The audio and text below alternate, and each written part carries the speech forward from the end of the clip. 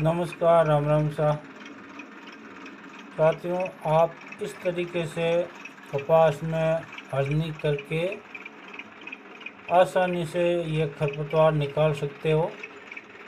लेकिन आपको इनका ये विशेष ध्यान रखना होगा कि ये जो चौपाई करते हो, यानी इन कपास के बीच की रोपाई करते हो, उस समय आपको ये पाड़ियों के ऊपर इनकी छपाई करनी होगी।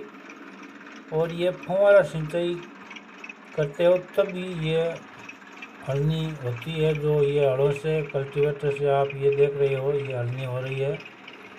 और ये 40-45 दिनों की कपास होने के बाद में इनकी हलनी निकाल जाती है। राम राम साहब